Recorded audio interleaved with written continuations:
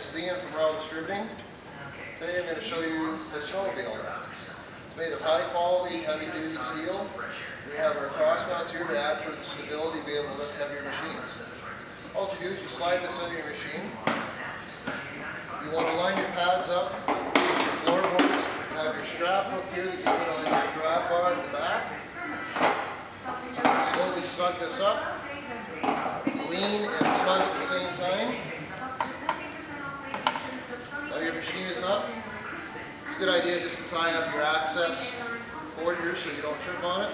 Push down the back of the machine and you can move forward or backwards or to the machine quite easily.